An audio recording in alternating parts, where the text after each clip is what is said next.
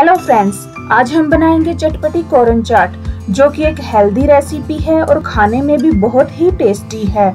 और इसे हम बहुत ही आसानी से अपने घर पर ही बना सकते हैं। तो चलिए फ्रेंड्स इस रेसिपी को शुरू करते हैं। सबसे पहले मैंने यहाँ पर दो फ्रेश कॉर्न लिए हैं। इनका छिलका उतार के इन्हें अच्छे से साफ़ कर लिया है। और इस तरह मैंने इन दोनों को ऐसे दो इक्वल पार्ट्स में डिवाइड कर लिया है। अब मैंने पैन में एक लीटर पानी को उबाल लिया है।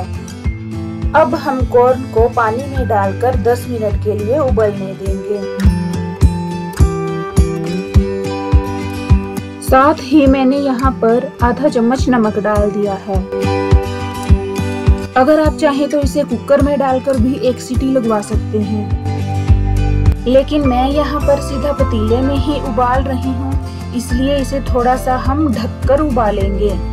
ध्यान रहे इसे पूरी तरह से ना ढकें, ढकते वक्त ऐसे साइड में से थोड़ा सा स्पेस छोड़ दें, ताकि थोड़ी सी हवा बाहर आती रहे। बाकी चाट के लिए हमें ज़्यादा वेजिटेबल्स यूज़ करने की ज़रूरत नहीं है, उसके लिए सिर्फ़ हमें दो प्याज, दो टमाटर और एक हरी मिर्च ही काफ़ी है। इन सबको हम बारीक बारीक काट लेंगे। उधर कॉर्न को उबलते हुए भी 10 मिनट हो गए हैं तो चलिए अब हम इसे बाहर निकाल लेते हैं। आप चाहे तो इसे 5-10 मिनट के लिए पहले ठंडा होने दें। लेकिन अगर आपके पास समय नहीं है तो आप इसे ऐसे साइड में से किसी कपड़े से पकड़ते हुए इसके सारे दानों को अलग कर लें। इस तरह चाकू से यह सारे दाने बहुत ही जल्दी निकल जाएँगे।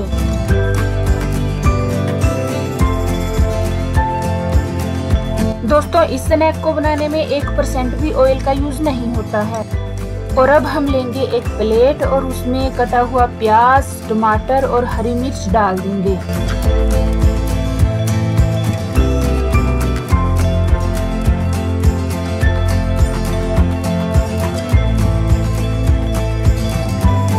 और जो उबले हुए कॉर्न है, वो भी मिला देंगे।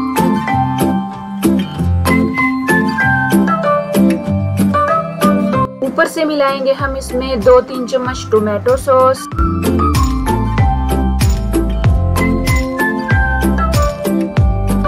लगभग आधा चम्मच सेजुआन सॉस।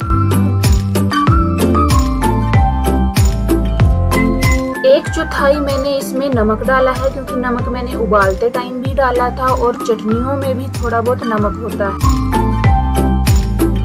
थोड़ा सा मैंने इसके ऊपर ऐसे चाट मसाला स्प्रिंकल किया है।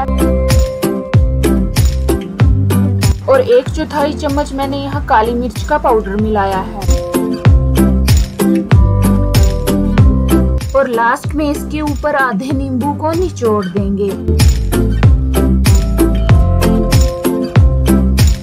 और बस इन सबको मिला देंगे अच्छे से और यह सर्विंग के लिए तैयार है।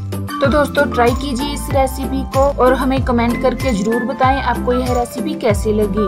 और हमारे चैनल को सब्सक्राइब करना न भूलें।